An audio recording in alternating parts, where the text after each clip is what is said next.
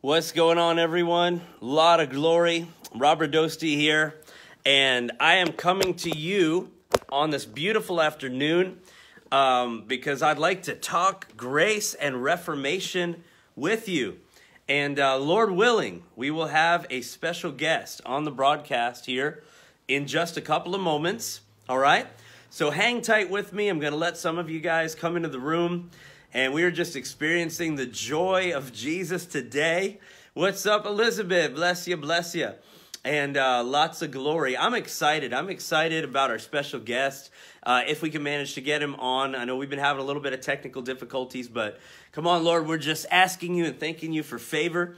In Jesus' mighty name, there's my wife. Hey, my wife, Millie, it says you're a top fan. Glory, glory. Now, I did send Jerimiah the link to my page. I just hope that, uh, that he got it, or else he may not know where to look.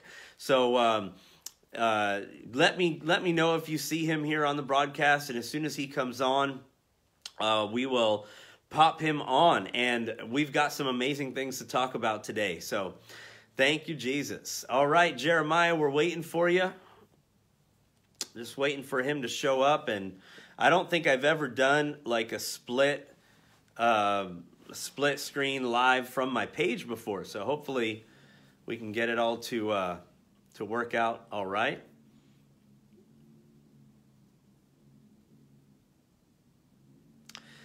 Okay. Okay, he just texted me, so he's coming just a minute, guys. Just a moment here. Here we go. All right. Let's see if we can get this to work. We are adding, hopefully not subtracting.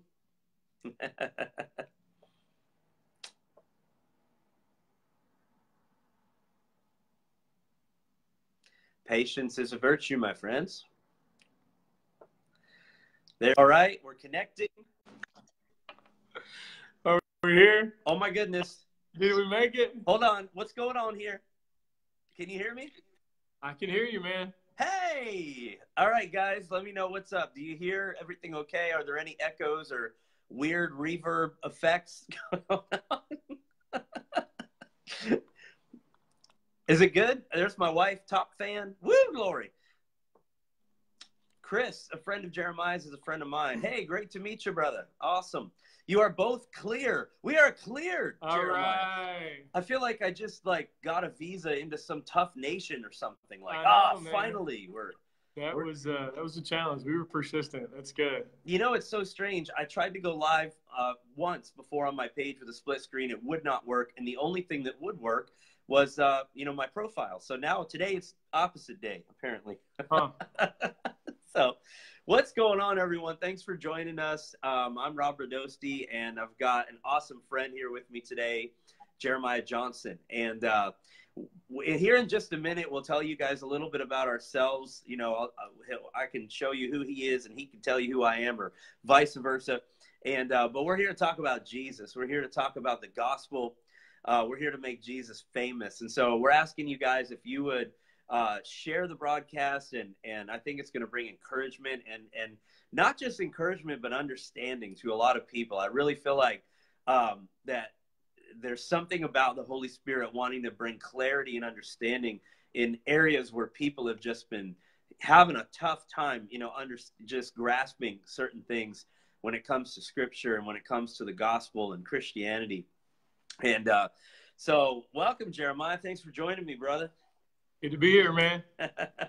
um, so you are the pastor of a church. Can you tell the people real quick uh, where you pastor?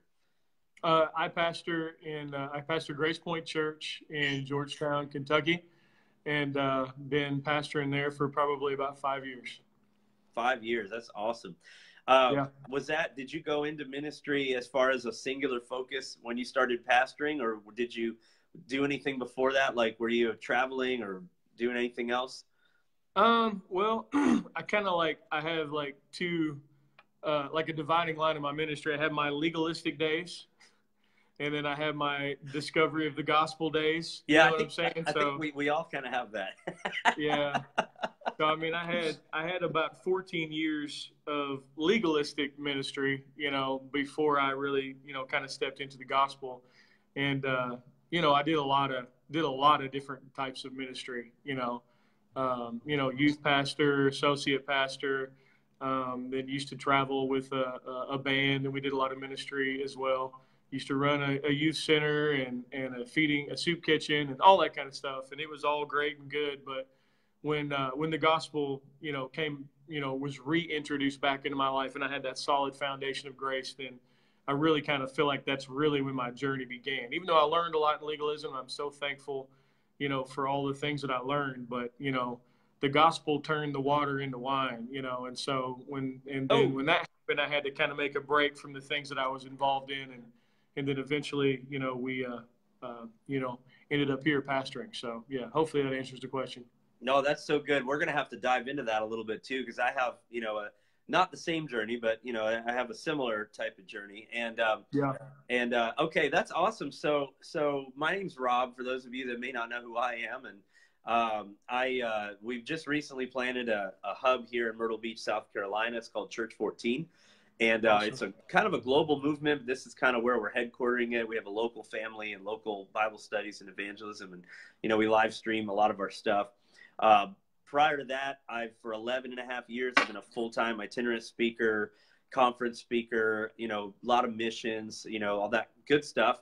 Um, and uh, I was delivered from Satan worship in the occult in 2001.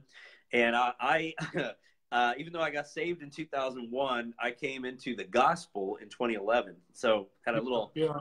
10 year period there. And, and, and, you know, th- I kind of, I feel like we should just start off right there with that. Um, okay. When, when, because some of the believers or even non-believers that are watching, they, they may be wondering like, what do they mean? They were mm-hmm. like in ministry and then they started mm-hmm. believing the gospel like 10 years later. What, you know? Yeah. And so, you know, some of the believers might be saying, I, I don't understand that. Why would you be in ministry if you don't believe the gospel?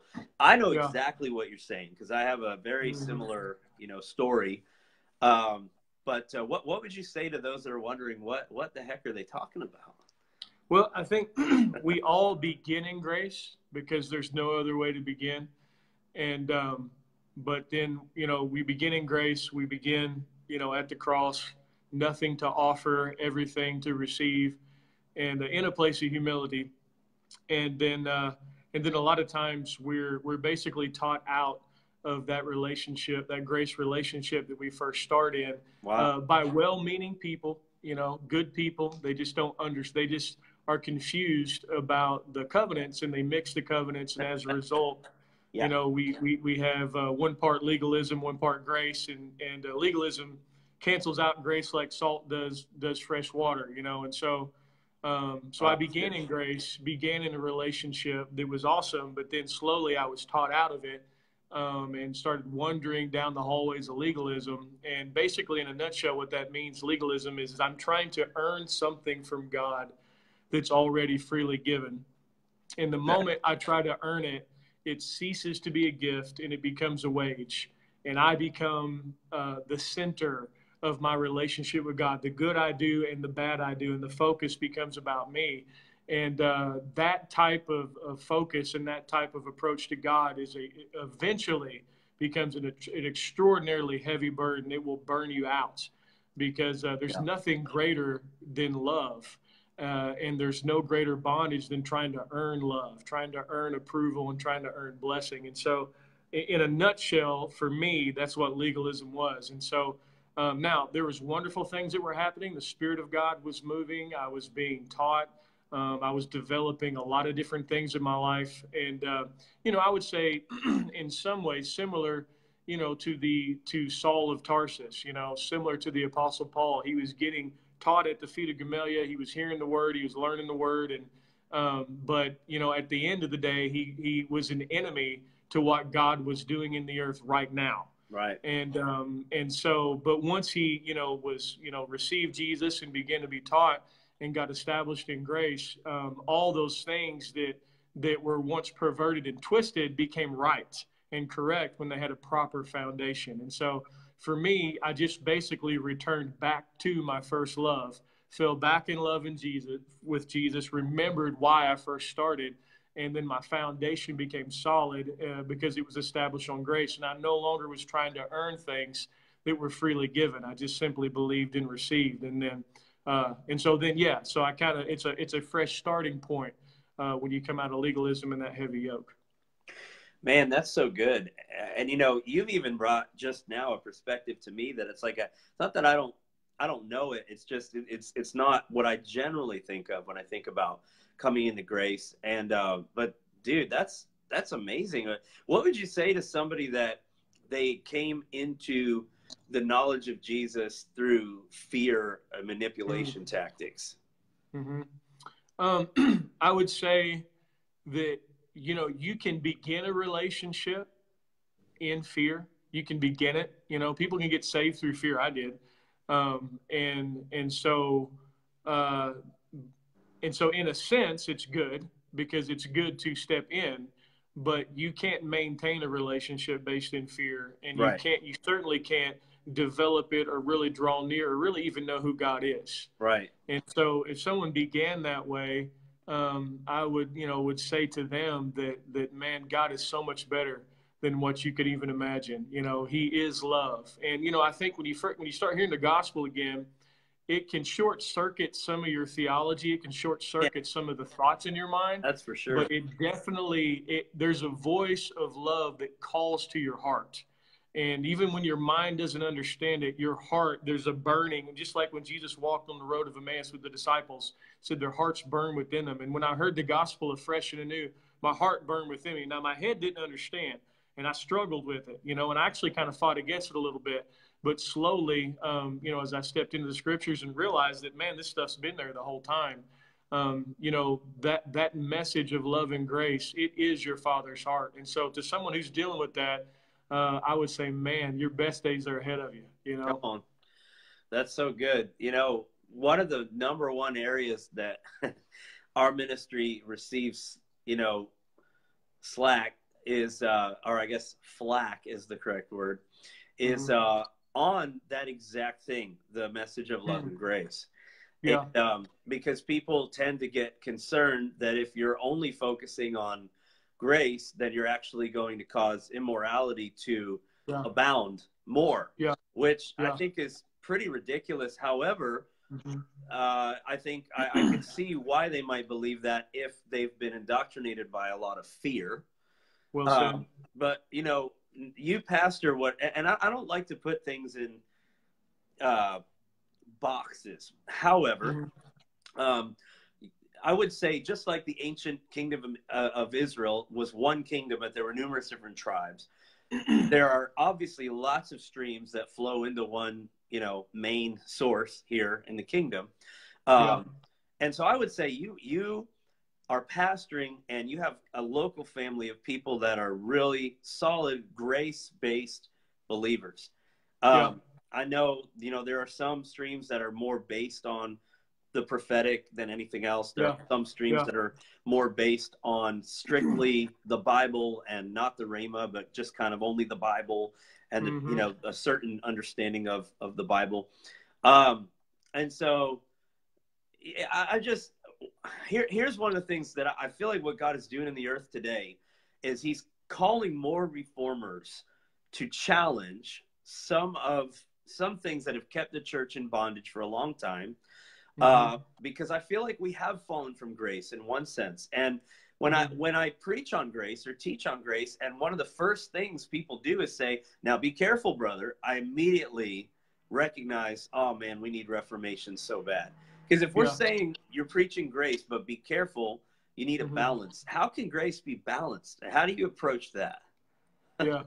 Well, I think that um, the message is such good news and um, it sweeps you off your feet and it's unlike anything you eh, that is offered to us anywhere else in the world.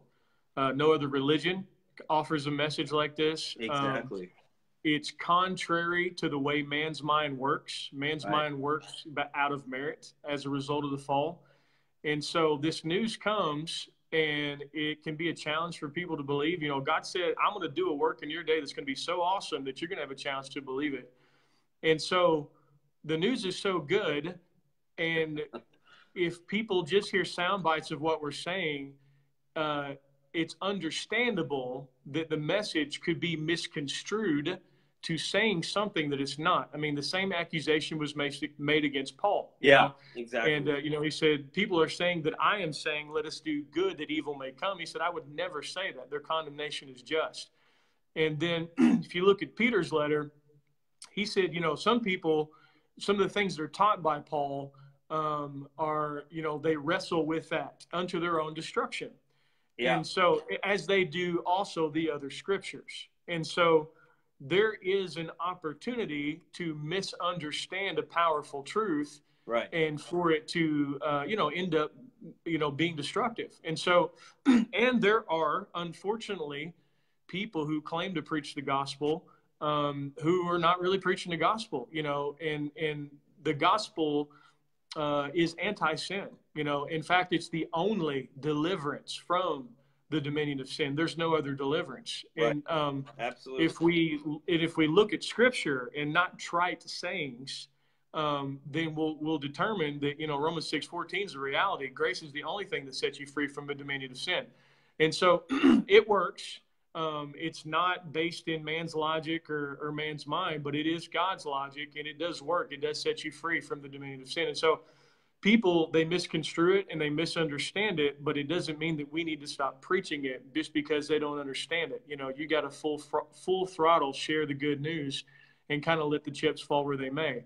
Um, and and so but i know that there are people who think you know there's too much or, or whatever and, and and certainly people can definitely abuse it. I mean the opportunity to abuse liberty is there. I mean when the abuse of liberty happens uh, there's just a lack of maturity but just yeah. because someone is abusing liberty doesn't mean we shouldn't set them free. Right. Because the only way they're ever going to mature is in a place of liberty.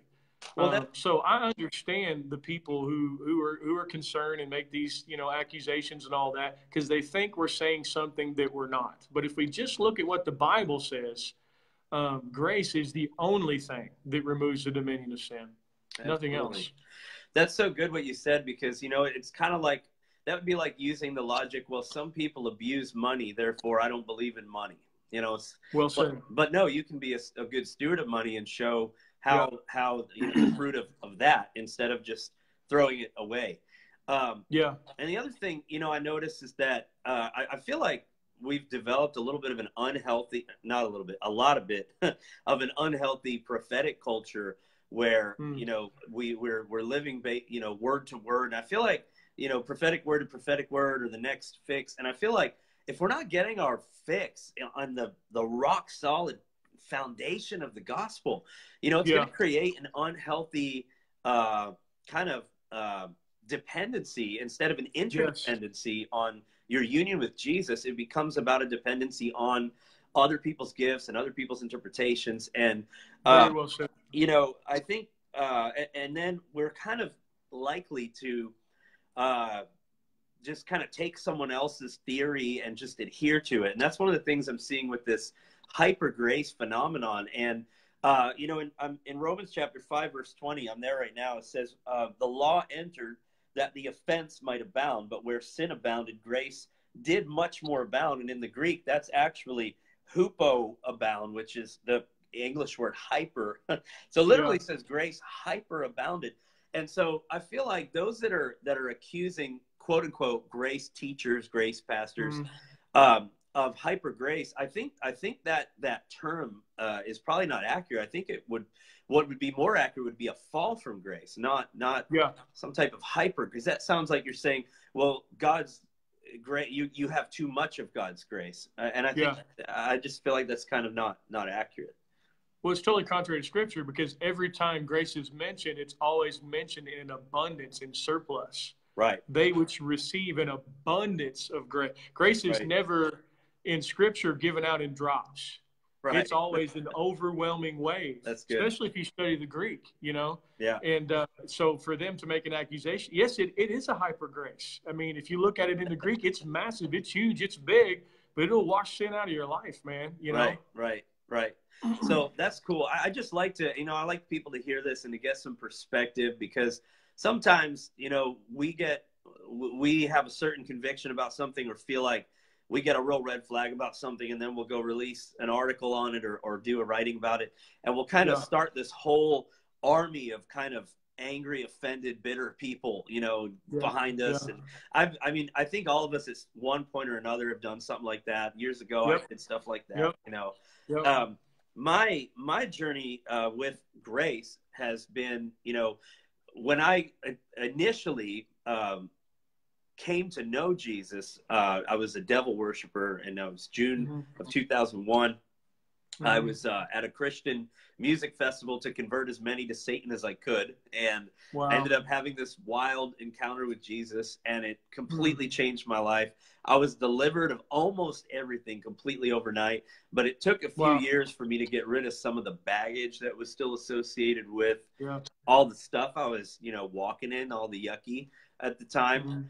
Um, and uh, but I, I very quickly, you know, I got plugged into a, a tongue talking, Bible believing church, and um, but but you know, it was a full gospel church, and and and they're great people, you know. But I I, I think Yeah. I picked up some things, um, some unhealthy patterns, and and and by the time I ended up really getting into evangelistic ministry, I ended up getting caught up in a lot of politics of you know the who's who and the charismatic zoo and Yeah. um, and then I got caught up in a lot of works, and and now I was raised Seventh Day Adventist, and so I was raised under the literally almost fully under the law. I mean, we Wow. I, I knew the law like the back of my hand. I mean, we Mhm. we kept the Sabbaths Friday night to Saturday night. We like Wow. almost everything you could imagine, and so Hmm. I found myself at a time. Uh, probably a few years after I came to know Jesus, maybe six, seven years after I came to know Jesus, uh, in this place where I was I was striving so hard to make God happen, and it was all Yeah. about what what I could do. Uh, it was all about and and and one day, you know, I burned out. I just burned out really bad because Mhm. I was trying to make revival happen. I was trying to, you know, how, you know, should I fast 10 extra days so that I can be as anointed as Benny Hinn or as this guy Yeah. or as that guy?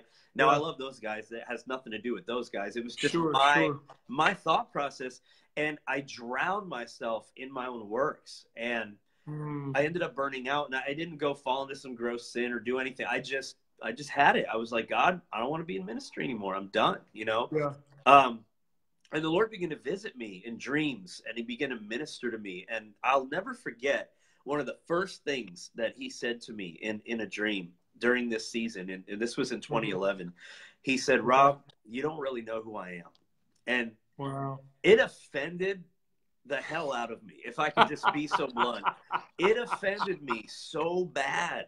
And I was just like, how can you say something like that? I've been Yeah. preaching your gospel for the past blah blah blah blah blah years, you know. Yeah. And yeah. uh, and then finally I humbled myself and I was like, okay, what do you mean? What what does that even mean? And yeah. the Lord said to me, you don't understand the dynamics of this relationship. And, and I'm like, Wow. well, teach me, you know? And he said, if you never preach at another healing revival again, if you never Mhm. lead another mission trip, if you never lay your hands on another person, if you never cast out another devil, if you never get published on some big or go on some TV show and preach my name again, he said, the Yeah. way that I feel about you will never change Mm. and it completely i was literally like i need to make sure that lines up with scripture you know like, you know and it dude Yeah. it, it, it just floored me and for the next seven nights i was just caught into the and it wasn't like some 20 second dimension of some weird realm i was just Sure, caught in, into the father's heart and i was just having these ecstatic experiences with god Wow. and and and it changed everything on the inside of me and, and the way that I did Mm. everything. I remember one of the things the Lord said was, you know, you have you've never resolved to see Christ being revealed in people. You've only resolved to seeing sin and demons being revealed in people. You, you don't even Wow. try to see Jesus being revealed in people. And I'm like, I Mm. never thought about, you know, I just I'm Yeah. just preaching what I thought was the gospel, you know, and Yeah. but when the Lord told me how he felt about me, I thought, my God, what if everyone on earth could know how God feels about them? You know, and it just Mhm. it just began to shift, you know, the way that I that I did things. And um, you know, so that's kind of brought us to the point where we are now and um and, and I That's feel awesome. like how has the church by and large I mean, not all of them, but how have we missed the the gospel? you know, how, how has that happened? Mm-hmm. Is that a direct question? it's a trick question. No. Well, I think, I think, uh, you know, the enemy is anti-Christ. Yeah. Um, he's not anti-church.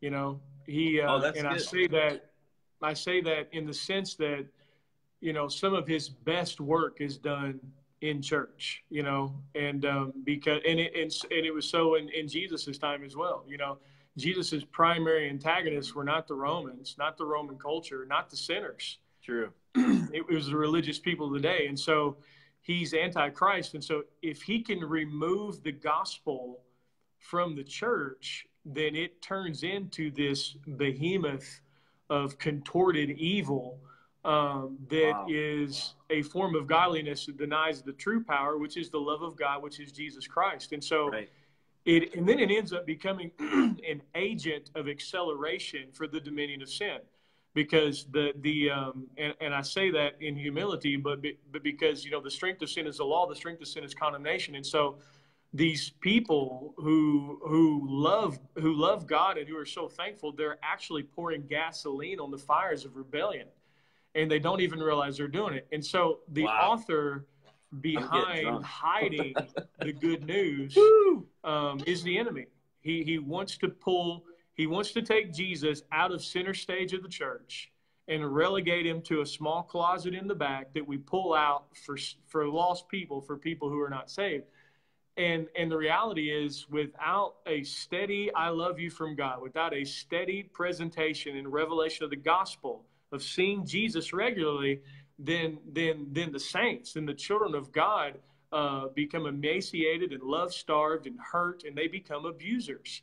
And so, wow. you know, he's he's the reason. You know, we lost this thing for for several hundred years in the Dark Ages. You know, we, we, we had to have Martin Luther rise up and exactly. do a, a, you know um, you know a, a renovation. A what's the word that you use? Reformation. Reformation. Thank you to bring forth a reformation. And so now I think the stage is set to bring forth the Reformation on a grander and larger scale than what they enjoyed in the 1500s because of technology, because of this information age. We can get the gospel out there and we can restore Jesus back to center stage of his own church so that all these beautiful things like the prophetic and healing and, and scripture and all these wonderful things that are amazing with the proper foundation can flourish and become what they're supposed to be, which is a revelation of the goodness of God. And I feel like we're on the wow. cusp of on a worldwide scale, and uh, it's an exciting time to be in. Wow, man, that's amazing what you said. Uh, you know, and and my obviously, I love how you said before how this is the same stuff Paul was being accused of, and I think even Peter himself, you know, obviously struggled with stuff. Paul, sure, and, and it's you know, Paul was really the first one to get the revelation of of what this covenant actually entails for you know yeah. uh, for the entire earth. I mean, Jesus said it a million times, but they didn't really. I don't think they really caught it. You know, um, until he was well post resurrection. Um, but I, I, found something, and I, I just want to release this on the video because I feel like it may help some of the viewers just unlock um, something that is hiding in plain sight, and it's in Second Corinthians we all kind of quote, especially in the charismatic church, you know, we quote Second Corinthians 10, for though we walk in the flesh, we do not war after the flesh, for the weapons of our warfare are not carnal, but mighty through God. Okay, we, we know, we most of us know that. But right before that, and that's like, you know, in the context, in verse 2, Paul says, But I beseech you that I may not be bold when I am present with that confidence, wherewith I think to be bold against some who think of us as though we walk according to the flesh. And basically, mm. what he's saying right here is, I am constantly getting accused by my own peers, by those that are supposed to know God, of mm-hmm. preaching license to sin. That's what he's saying yeah. right here. Yep. Then yep. he goes on, and this is the context of what we're of, of our famous charismatic quotes. Uh, then he mm-hmm. goes on and says, For though we walk in the flesh, we don't war after the flesh. We are mm. basically casting down imaginations and every high thing that exalts itself against the knowledge of God. Um, so, what he's saying is behind these accusations that the gospel or grace is a license to sin, that the inner workings of that is demonic. These are strongholds. Yeah. And see, a, a, lot of times I think I think we think about demonic and strongholds as drugs, alcohol, you know, but I think we're missing as the church the entire facet uh, well said.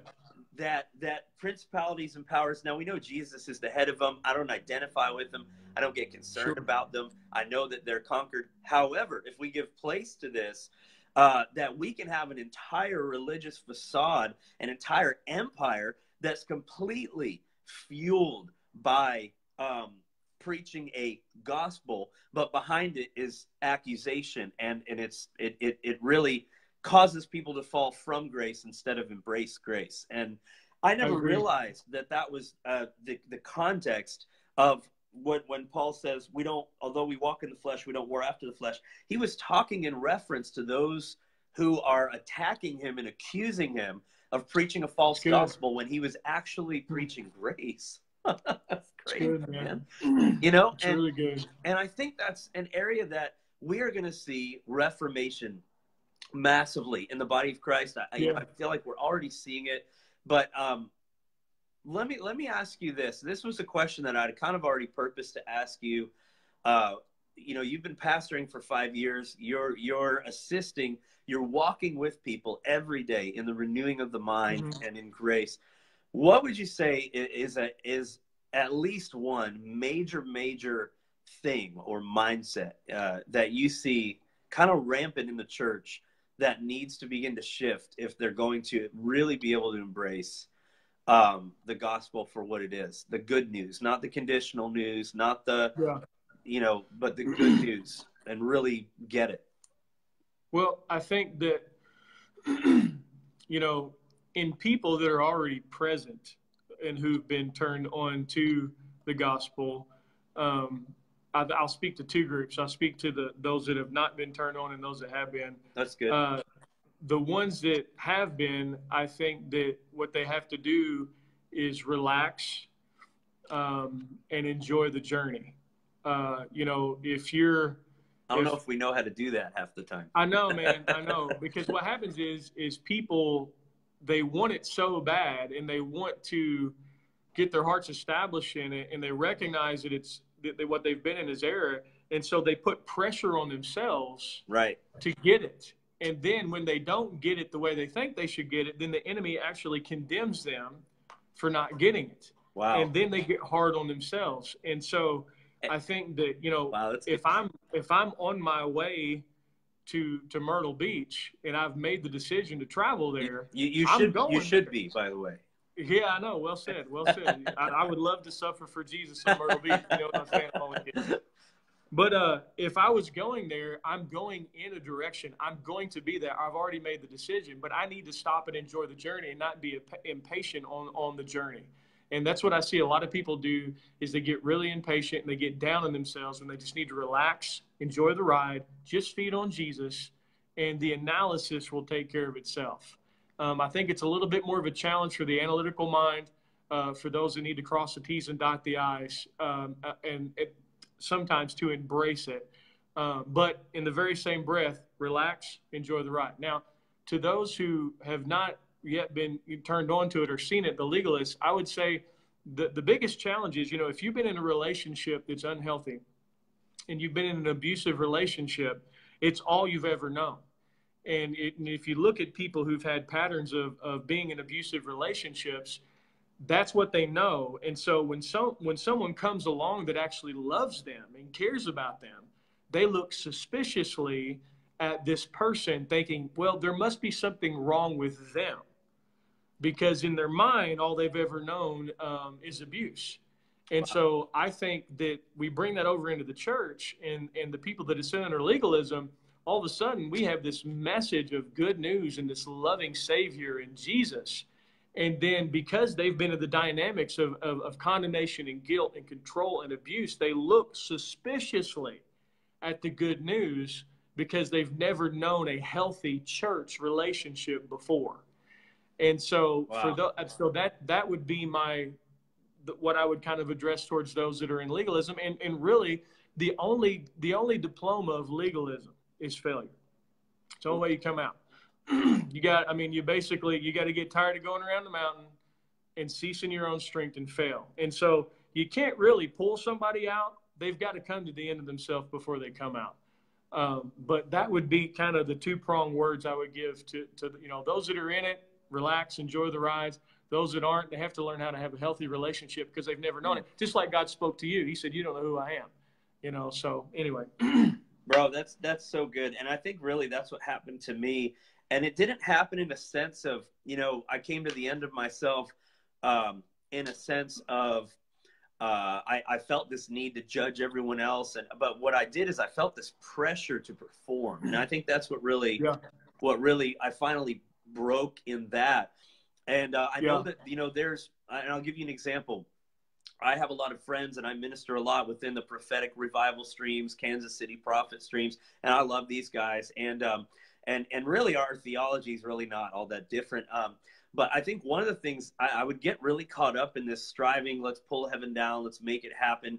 Uh, and then uh, before I realized it, it would become all about me and it would become all about um, my mm-hmm. gift, you know, and it would become all about uh, me, you know, having the key to people's breakthrough and me being, being the one yeah. into the region and me, you know, me, me, me.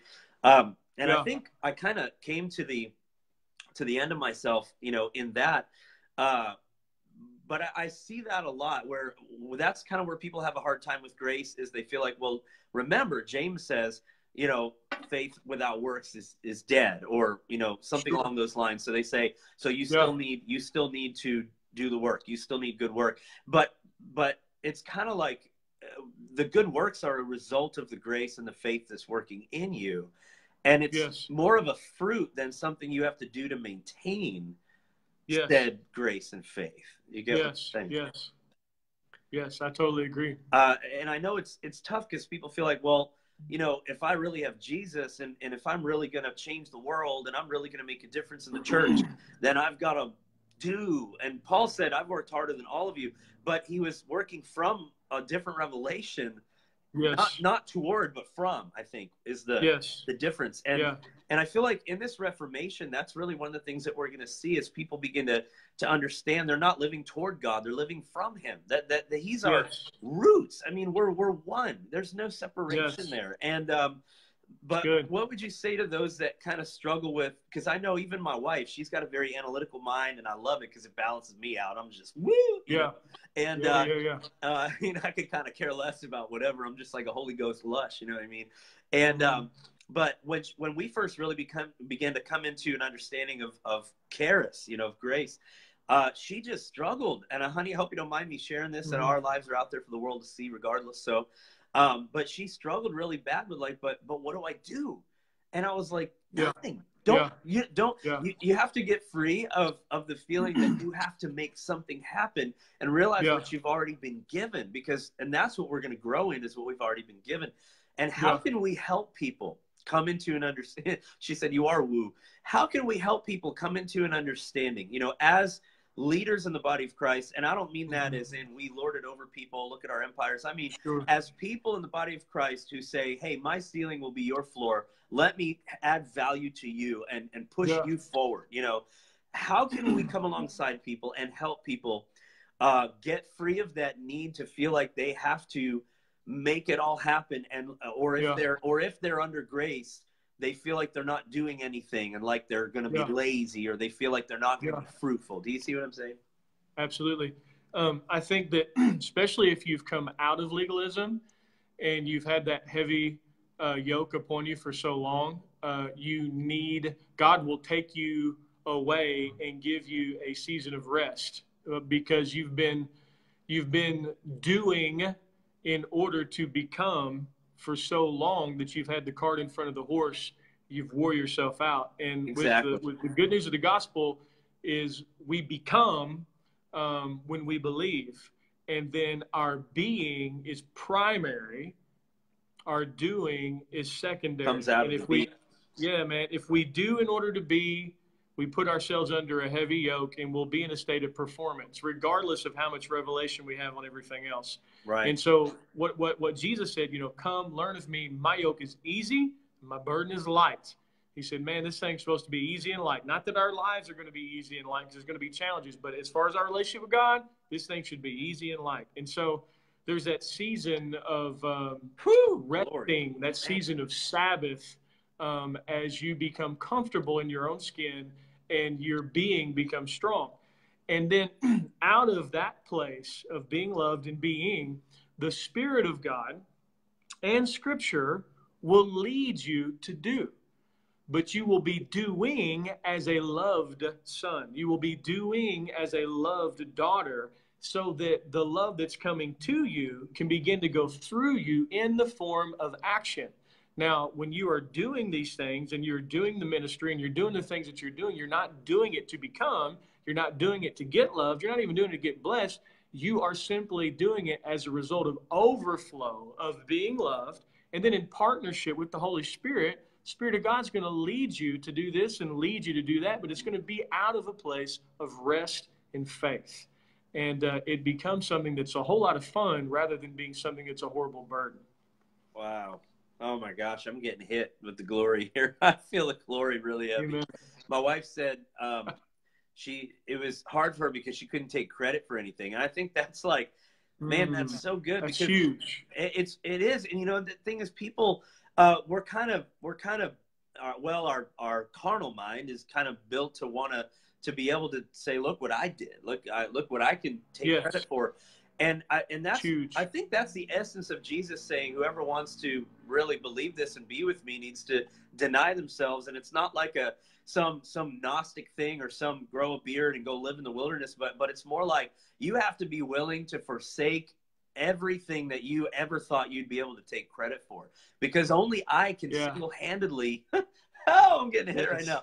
Only I can. Yeah. That's pretty heavy right there. Uh, only I can single handedly do this for you, and I'll do it as you, but you've got to allow me and just participate instead of trying to, you know, make this happen. And um, I know I had a pastor one time said, "Don't preach that finished work of the cross stuff at my church," and and I said, "Why?" And he said, Wow. "Because my people are lazy enough; they don't need another excuse to not do anything." And and so right there, I, I'm like, okay, I'm not going to get angry because the understanding here is completely different, and and, and I'm not Sure. going to just get Yeah. offended, you know. And uh, so instead, I tried to just demonstrate that by no means is grace some kind of slothfulness or, or laziness. There's actually uh, a greater fruitfulness because you are now living out of Him and not out of your own works. You know. Yes, you are living as a loved child. Right. A loved child will will Uh. perform better than one that's trying to perform for love. But it's hard to, man. to convey that always to someone who's on the other side of that, you know. Yeah. But it's okay. Yeah. Man, it's just oh, it's just so good. I really feel like all the cards are on the table for uh, a fresh reformation, and you know, uh, obviously after Constantine did what he did, and and kind of the liturgical system was kind of reinstituted and mixed with all kinds of stuff, and in the name of you know Christianity, um, we ended up in the Dark Ages for a thousand years, and uh, and Yeah. then like you said, Martin Luther finally and this is not an anti-Catholic thing either. I love so much about the Catholic Church, but Martin Yeah, Luther absolutely. finally rose up and said, "Okay, why are we going to men for forgiveness? Why? What? What's up with this? What's up with that?" And um, and and since that point, it's like God has been restoring to the church what we allowed to slip away. You know, and Yeah. and and you see in the 1600s, 1700s, you see And all Paul these healing- prophesied that it would happen too. He knew it was going to happen. Right, right. Yeah. Didn't And, mean uh, interrupt you, but just want to throw that out there. No, you no, that's absolutely Yeah. right. And and I feel like we're at a point right now, almost in 2020, where God is gonna is gonna where the church is going to be in a place again where they have 2020 vision. And That's and I feel man. like what That's that good. means is they're gonna the, their lens is finally gonna be Christ, the hope of glory again, and not all of this Good. voodoo doo doo. You hear what you got to do and who you got to be, and uh, you know how you've got to act. Yeah. Uh, and, and I feel like you know having honest discussions like this and dialogue is really healthy because uh, people are going to see that this is not just some fly by night movement, some renegade, you know, people that call themselves reformers that think they're going to come and you know, lead the church into some new revelation. This is not a new revelation. This Oh, is the original, years old. the only revelation. Yeah, is, yeah. is you know the mystery of the ages is Christ, the hope of glory.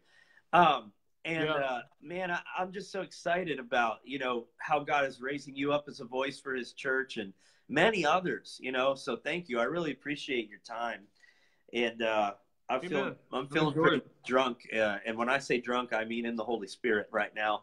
Um, Yes, sir. Yes, sir. it's so good. It's so good. Uh, so where can uh, people find out, you know, more information about your church and your ministry? I know they can obviously Okay. follow you on your Facebook profile. Do you have any Sure. links? Yeah, we um, our church website is gracepointgeorgetown.com. Uh, that has uh, like all of our church videos and all of our church information. Uh, my itinerant ministry is jjm.life. Um, JJM.life, okay? jjm.life. That's got additional uh, content and the you know ability to buy some of my books and products and stuff like that, Cool. and also you know the itinerant ministry schedule as well. We do a uh, grace camp uh, for kids. Yeah, we do that. that, in, uh, in Ohio in the beginning of August, and uh, we did our first one last year, and it was awesome. And just want to take this revelation and give it to the young people. So, uh, so yeah, those are the two primary ways outside of social media. Very cool. You know, the beach would probably be good for the young people. I agree, brother. I agree. Well, my, my hope, my hope and my dream is to uh, is to start more camps. Oh, You know, great. like I said, we we want to do multiple camps. You know, and so we're still, you know, we're you know we're and we're tagging in with some. Uh, so yeah, so yeah, man. Let's that sounds great. you Very know? cool. Praise Very God. cool. Yeah. Little Glory Retreat. Amen. Um, that's great. What are some of the books that you've written? I'm just curious. Okay. Um, first book that I wrote was Staying Connected, and uh, it's basically a uh, just a dissertation against condemnation and uh, fruitfulness being a result of resting and being in the vine Oh, as opposed to striving. And uh, Wow. you know, just that was my first book, and uh, you know, very much just exposing condemnation for what it is, and recognizing that our fruitfulness is just a result of us receiving life from Jesus and not our own strength. And uh, that was my first one, and then my second one is uh, freedom, and uh, that one I, I share my testimony and deliverance from drug addiction, alcohol, alcoholism, atheism, all the crazy stuff that I was Wow. involved in, um, and then you know and got free from, and then in the book I also share how I go into into bondage in the church, you know the legalistic bondage end of things, which was more difficult to get free from than the drug addiction and alcoholism and no, atheism. wow, you know? that's wild. Yeah, so there's it's kind of a two part testimony thing um, that I share in that book. Uh, that book is always free. Uh, God told me to make that book free, so people can go to jjm.life. They can order that book, they can get a digital download, or they can order it. We'll send it to them for free, and it's basically just my testimony in a nutshell Very getting set free from those two bondages. And then uh, I wrote um, the Gospel of Grace. Why do leaders refuse to preach it? That was Ooh, my wow. yeah, real real popular title, right? Our our our leadership here at Church 14 might need to go through that. That would be good. Uh, yeah. So- well, it's um, it's a book that you know it just kind of uh, it shares some of my testimony about you know the kind of the abuse I've been through in church, and then it also kind of reveals the mindset behind why. You know, if you look in in one of the things God led me to do is look at the life of Jonah. Jonah was given a message to set people free. Yeah. And rather than share that message that was going to deliver them, he ran because he wanted people to get what they deserved. Right. And um, and that's we the mindset. from the same mindset today. sometimes. Yes. yeah, absolutely. You know, and and so, but I mean, ultimately, the book really is to not throw these leaders under the bus, but bring compassion to them.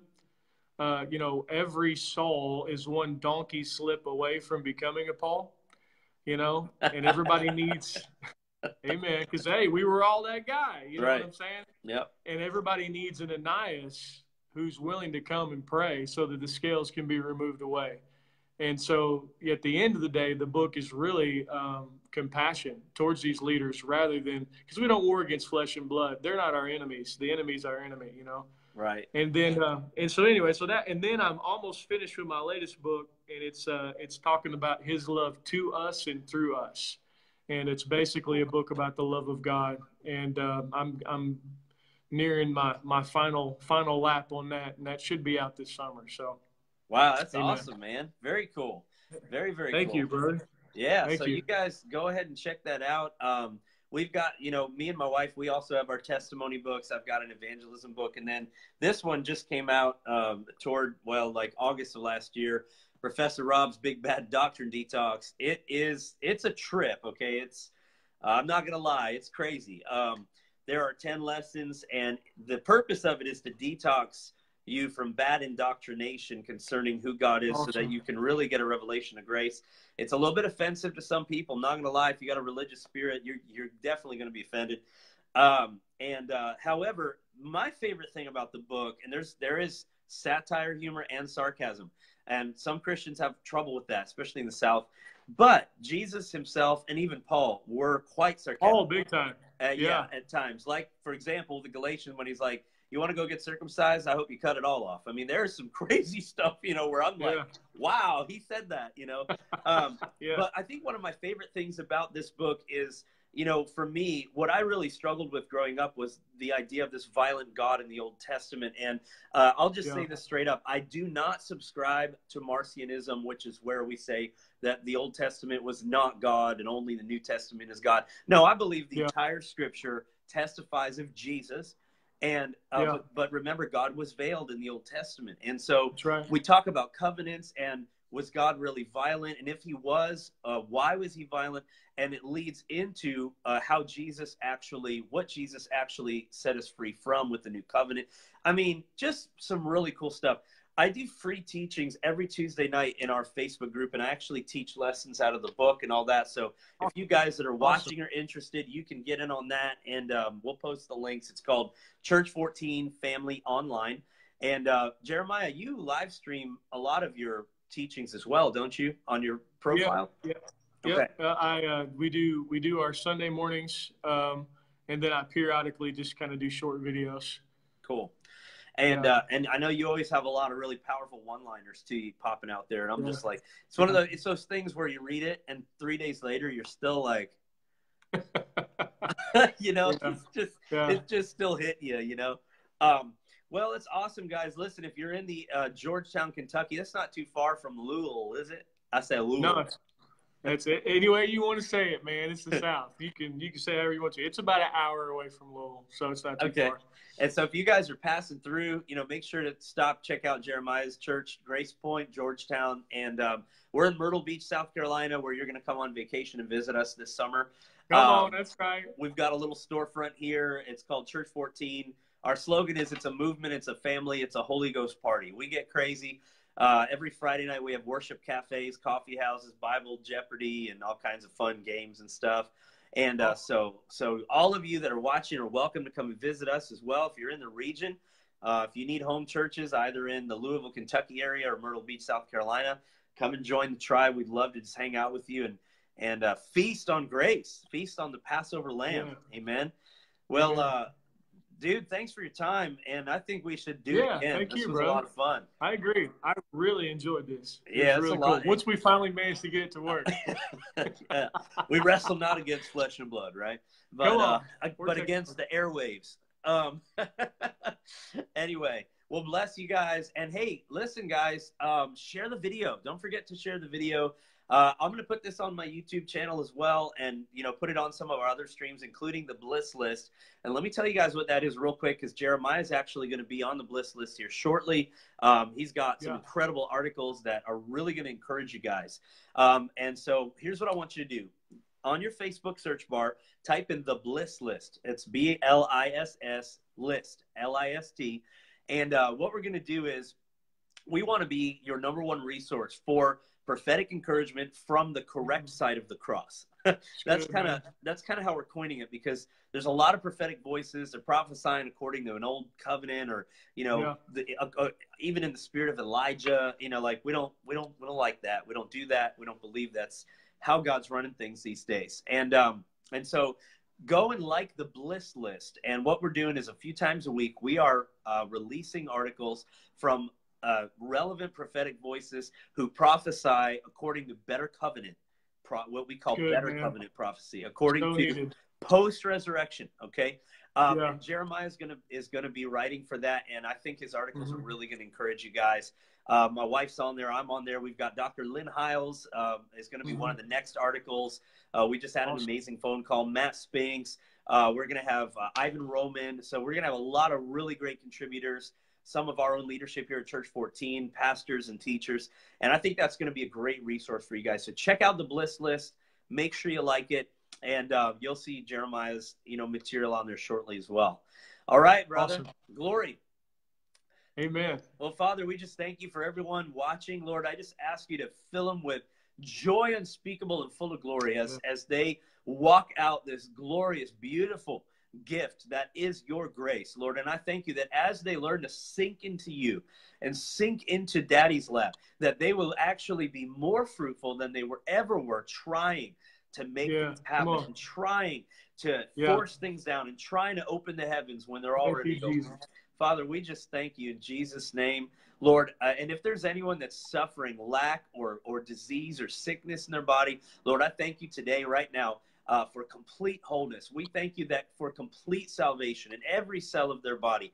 We thank you that is manifesting in them right now. If there's financial need, Father, we ask you Yeah. for over and above abundance, Father. If there's Lord. if there's a, a demonic oppression or religious legalistic manipulation control in the form of witchcraft father we thank you right now for freedom whom the Son sets Yes. free is free and we thank you that your grace breaks every last chain and lord if we're sitting there in condemnation it's only because we're keeping ourselves in a in a prison cell that you've blown open with your dynamite from the inside.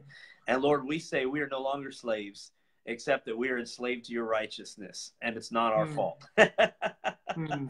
woo! Glory. Wow. Amen. in jesus name. All right guys we love y'all. Go follow jerimiah's profile so you can get his updates. And um, this is my page i've also got a profile and and the groups and all that and anyway we look forward to next time we love all of you and we'll talk to you Amen. soon thanks for joining All me jerimiah Hey, man. Thanks. I'm glad to be here, brother. stay drunk on jesus guys